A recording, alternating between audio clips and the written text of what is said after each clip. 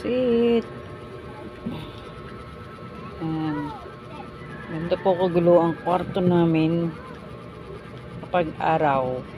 Kasi hinahayaan ko po sa aking mga aw-aw ang kwarto kapag araw.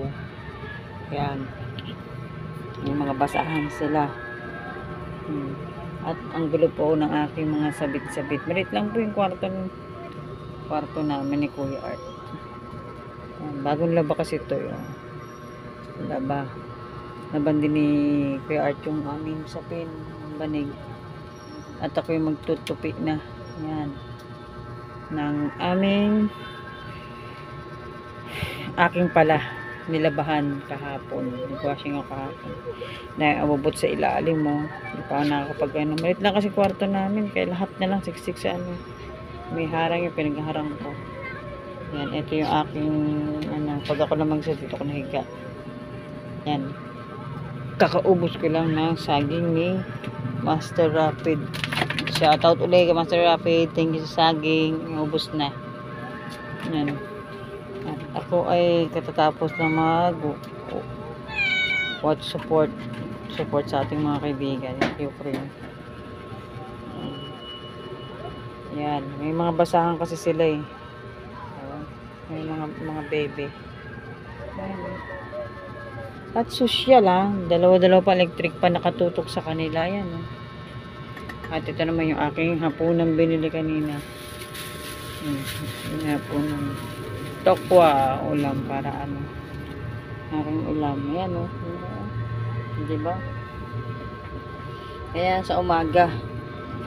Yan kaya pagdating ng alas 6 gumpisa na ako maglinis ng kwarto yan sa 6 kung sa 6 pataas ang linis ko ng kwarto hmm.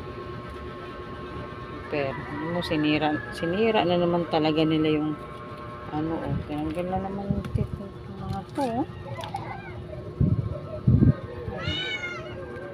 Ano, gutom ka na. Hmm. Sobrang init.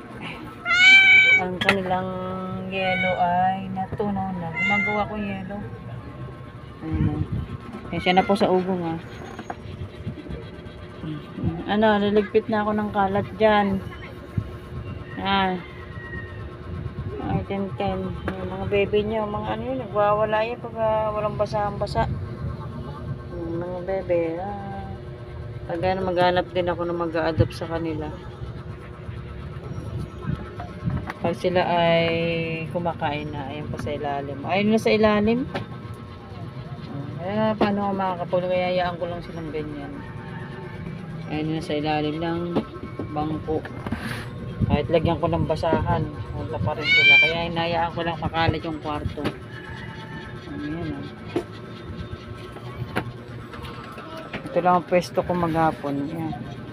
Yan, dito sa bangko na to. Pwesto ko maghapon. Nandyan lang. Oh. Okay. Linis muna ako. Ayun. Ako, mukhang hindi pa mag ako makakapaglinis.